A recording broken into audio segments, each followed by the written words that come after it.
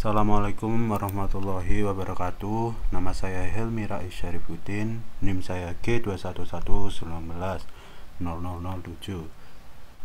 Di sini sebelumnya saya mohon maaf karena belum mengumpulkan atau telat mengumpulkan tugas dari Dian Moto. Dikarenakan ini ada kerusakan di aplikasi Adobe saya ketika ini saya play muncul. Seperti di sini juga.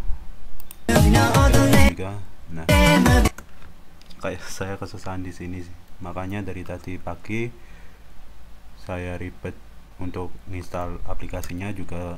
Mungkin ada kesalahan di installnya jadi terjadi kayak gini.